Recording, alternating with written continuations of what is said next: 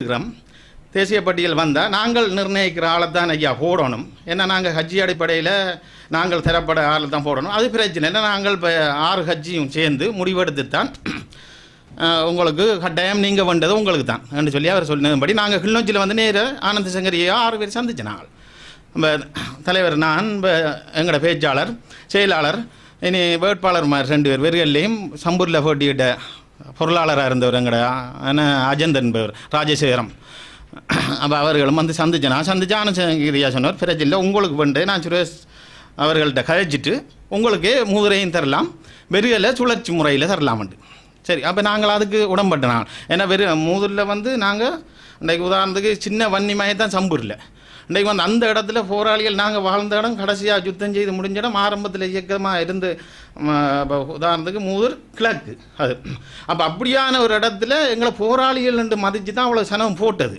அப்போ அந்த இடத்துல அப்போ மூதூரை நாங்கள் வன் உறுதியாக கேட்டினால் தரலாம்னு சொன்னது. அப்போ கலந்து ஆலோசிப்பா அடுத்த மீட்டிங் இப்போ எலெக்ஷன் முடிஞ்சிருக்கு நீ எல்லா யாழ்ப்பாணத்தில் மீட்டிங் போட்டு முடிவெடுப்போம்னு சொல்லி போட்டு உடனே நாங்கள் சந்தோஷமாக போயிட்டு இருக்க மூன்றாம் நாள் பார்த்தால் இபிஆர் லப்பில் போட்டியிட்ட ரமேஷ் என்பவர் அவரும் போராளியாக இருந்தவர். வெடி கொளுத்தி மாலைகள் போட்டு மணச்சனை பெருவழியில் பெரிய ஒரு முந்நூறு பேருக்கு ஆடாம் ஆடு வெட்டி சாப்பாடாம் என்று சொல்லியெல்லாம் பெரிய கேள்வி போடுறோம். இப்போ எங்களுக்கு பெரிய விமர்சனம் வருது. என்ன நீங்கள் வெண்டன்றீங்க அங்கே வந்து இப்படி கொண்டாடுறாங்களே என்ன காரணம் வேண்டாம் அப்போ எங்களுக்கு பெரிய ஒரு அதிர்ச்சி உடனே சு- சுரேஷனைக்கு எடுத்து கேட்ட நாள் ஆனால் இப்படி இப்படி நடக்குது என்ன? அது நாங்கள் மூதுரை கொடுத்துட்டோம். வெறுகலை உங்களுக்கு போனஸ் வந்திருக்கு. அது வரும்பல இருக்கு வெறுகள் வந்தால் உங்களுக்கு தான். நான் சொன்னேன் நீங்கள் அப்படி என்னென்னு செய்வீங்க? நாங்கள் வந்து சம்ப வென்றிருக்கோம் நீங்கள் வீதாசிரப்படி யாருக்கு பெரும்பான்மை இருக்கோ அப்படி தான் தரலாம். நாங்கள் மூன்று கட்சி போட்டிக்கிட்டேன்டா ஈரோஸுக்கு வந்து நூற்றி தொண்ணூற்றி ஆறு விடுதலை புலிகள் கட்சிக்கு அஞ்சூற்றி நாற்பது நாற்பது சொச்சம் உங்களோட இபிஆர் அளவுக்கு நானூற்றி சொச்சம். அப்போ நீங்கள் என்னென்று எங்களோட பெரும்பான்மையாக இருக்க நீங்கள் அப்படி கொடுத்தனீங்கன்னு சொல்லி கேட்க அதெல்லாம் இல்லை ஃபோனை கட் பண்ணிட்டார் இவ்வளோ கதைக்கு ஃபோனை கட் பண்ணிட்டார் அப்போ அவர் ஒரு தலைமை தாங்கிறாள் ஆறு கட்சிக்கும் கூட்டு தலைவராக இருக்கிறார். அப்போ நாங்களும் வந்து ஒரு போராளி என்ற ஒரு மதிக்கையில் ஃபோனை கட் பண்ணிடுறோம். அப்போ ஆனந்த சங்கரியை அடுக்க அவர் சொன்னால் நான் சைன் வச்சு கொடுக்கல என்று சொல்லி. அப்போ நாங்கள் சைன் வச்சு கொடுக்கலன்னா இங்கே படி கொளுத்திக்கலாம் செய்கிறோம் அப்போ எங்களுக்கு பெரிய மக்கள் மத்தியிலையும் ஒரு கேள்வி வர பேசாமல் இருந்துட்டு இருக்க புறவு கேள்விப்படுறோம் அப்படி கொடுத்தாச்சாம்.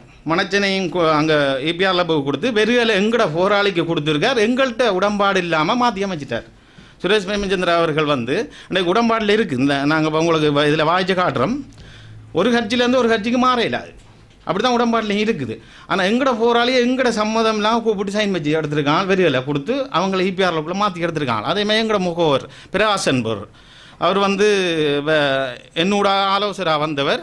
வந்தோடனே அவருக்கு நாங்கள் திருவண்ணாமலை டவுனுக்குள்ளே போட்டியிடையில் அவருக்கு கொடுத்துருக்காங்க தேசிய பட்டியல் போனஸை கொடுத்துட்டு விடுதலை புலி கட்சிக்கு தான் கொடுத்தேன்னு சொல்லி. அப்போ நான் ஆட்டை கேட்டு கொடுத்தேன் நீங்கள் கேட்டால் சொல்கிறீங்க சுரேஷன் கேட்டு நிறைய கோட்டு இருக்கு எங்கிட்ட அவர்கிட்ட கழிச்சது அதெல்லாம் கொடுத்தாச்சா எல்லாம் தீர்மானிச்சது நான் சொன்னேன் செயலாளர் எங்களோட போராளி இருக்குது. நான் தலைவர் சைன் வச்சிருக்கேன் உடம்பாட்டில் அப்போ எங்கட ரெண்டு பேர் அனுமதி இல்லை நீங்கள் கொடுத்தாச்சு கொடுத்தாச்சு. நான் யாருக்கு கொடுத்து இப்போ வரைக்கும் தெரியாது எங்களுக்கு. நாங்கள் இந்த உடம்பாட்டிலேருந்து பிரியும் வரைக்கும் எங்களுக்கு தெரியாது. என்ன நடந்துட்டு அப்போ சரிதான்னு சொல்லி போட்டு நாங்கள் கேட்டு ரெண்டு மூணு தடவை முயற்சி செய்தும் பார்த்தோம். அவங்களோட தொடர்பு எங்களுக்கு கிடைக்கல.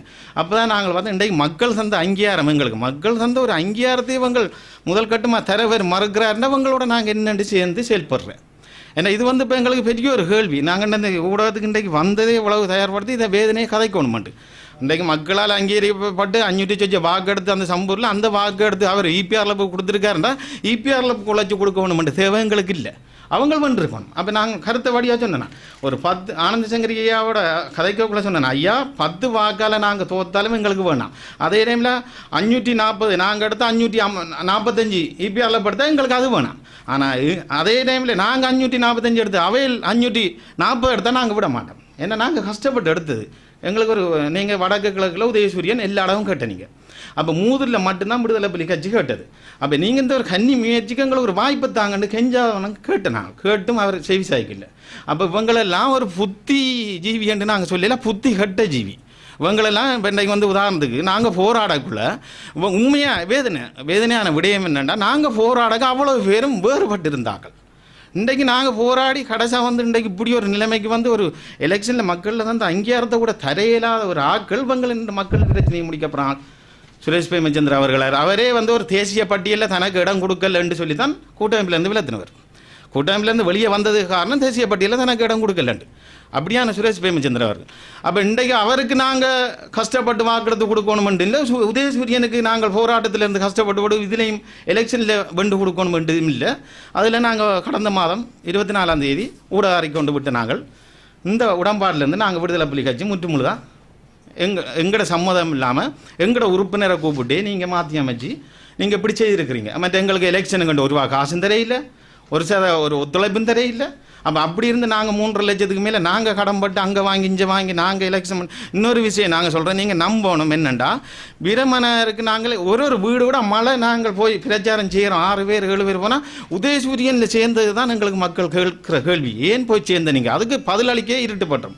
பத்து வீட்டுக்கு போக டைம் ஆயிரும் ஏழு பேரும். அப்படி இருந்த எங்களுக்கு சாப்பாடு காசில் நூறுரூவா காசு எங்களோட பக்கெட்டில் இருக்குது நீங்கள் நம்பினாங்க என்ன நம்பி தான் படி? எங்களுக்கு கூலி வேலைக்கு போகிறோம் கடலுக்கு போகிறேன் எல்லாம் கட் பண்ணிட்டு வந்தால் என்னட்ட நூறுரூவா காசு இருக்கு. ஒரு லெவன் பப் பிஸ்கெட் வாங்கி நாங்கள் ஏழு பேர் ஆளுக்கு ஒரு பிஸ்கெட் சாப்பிட்டு பசியில் பிரச்சாரம் செய்த நாங்கள் ஈ- ஈட்டின உப்புரல் பாட்டாளிபுரம் பள்ளிக்குடிப்பு. சத்தியமாக நீங்கள் நம்புங்க. அப்படி கஷ்டப்பட்டனால இந்த எலெக்ஷனில் அந்த வாக்கு எங்களுக்கு தரையிலாமன்ட்டு சொல்லியிருந்தேன். அப்போ பிஸ்கெட்டை சாப்பிட்டு பின்னேற ஒரு வீட்டை போக ஒரு வீரஜாவடைஞ்ச வீட்டை இத்திக்குளம் போக ஏழு பேருக்கும் சாப்பாடு சமைச்சு தந்தவங்க நான் பாயல் அம்மா சாப்பாடு இருக்காம்மா முதல்ல வந்தாலும் நாங்கள் சாப்பிட்னாண்டு அதுக்கப்புறம் ஏழு பேருக்கும் சாப்பாடு சமைச்சு தந்தோம் நாலு மணிக்கு பிறகு. அப்போ அவ்வளோலாம் கஷ்டப்பட்டு நாங்கள் எடுத்த இதை வந்து இன்றைக்கி வந்து எங்களோட அனுமதி இல்லாமல் செய்துட்டு பேசாமல் ஆமாம் ஆயிரம் முட்டையை விட்டுட்டு பேசாமல் இருக்கிறவன் சுரேஷ் பிரேமச்சந்திரன் அவர்களும் ஆனந்த சங்கரி ஐயா அவர்களும் இருக்கிறான். நாங்கள் போராளி அவருக்கு எச்சரிக்கை விடுறோம். உண்மையில் சுரேஷ் பிரேம ஏழு மண்டா நேரம் வந்து எங்களுக்கு எங்கள்கிட்ட சேட்டை விட்டு கொண்டு விளை- இருக்க இயலாது போராளிகள் உங்களுக்கு நீங்கள் மண்டையான் குரூப்பில் இருந்த நீங்கள் எத்தனை பேரை சுட்டிருப்பீங்க எத்தனை பேர் அழிச்சிருப்பீங்க? அப்போ நீ உங்களுக்கு நாங்கள் உழைச்சி தரணுமென்ற தேவையில்லை. சுரேஷ் பிரேமச்சந்திர அவர்களுக்கோ ஆனந்த் சங்கரி அவர்களுக்கோ நாங்கள் கஷ்டப்பட்டு எலெக்ஷனில் வெளில வைக்கணுமென்ற தேவையில்லை போராளிகள். எங்களோட தலைவர் கூட கஷ்டப்பட்டு விட்டுட்டு போனால் நீங்கள் அந்த நேரத்தில் கூட எங்களுக்கு விரோதமாக செயல்பட்டீங்க இப்போயும் அதே விரோதத்தை செய்கிறீங்க இதான் உண்மை. அப்போ நாங்கள் எங்களோட போராளிகளுக்கு எத்தனை பதில் சொன்னாங்களோ உங்களோட சேர்ந்ததுக்கு? உடன்பாடு வச்சதுக்கு எத்தனை கேள்விக்கு பதில் அளிச்சு நாங்கள்? அப்போ அப்படி இருந்து நீங்கள் எங்களுக்கு சரியான ஒரு துரோகமான ஒரு வேலையை செய்யுங்க. வன்மையாக கண்டிக்கிறோம். அதே மாதிரி சுரேஷ் பிரேமச்சந்திர அவர்களுக்கு சொல்கிறோம் எங்களால் கூட்டி வரப்பட்ட முகவராக இருந்த ஜெயபிரகாஷ் சந்திரமுந்தி ஜெயபிராஸ் அவர்களுக்கு திருவோணமல்ல தேசிய பட்டியல் அவருக்கு போனஸ் சீட் கொடுக்கக்கூடாது. அவரை நாங்கள் எங்களோட கட்சியிலேருந்து நீக்கிட்டோம். சிவம் என்ப ஞான ஞானேஸ்வரம்? நாராசன் நாகேஸ்வரன் அதோட வெறியல் மூத்தாரன் சிவமன்ற இயக்க பேர் அவர் அவருக்கும் எங்களால் தெரிவு செய்யப்பட்டவர் உங்கள் கொடுக்கல. ரெண்டு பேரும் உள்வாங்கிட்டாங்க அவங்க. உள்வாங்கி அடுத்த மாநசபை தேர்தலுக்கு இப்பயே தயார்படுத்துகிறான் அப்போ அவங்களுக்கு கொடுக்கக்கூடாது நாங்கள் வன்மையாக இதில் சொல்லிக்கொள்ள விரும்புகிறோம் என்னவென்றால் அதே மாதிரி மேற்கொண்டு மற்ற என்னென்றால் உங்களோட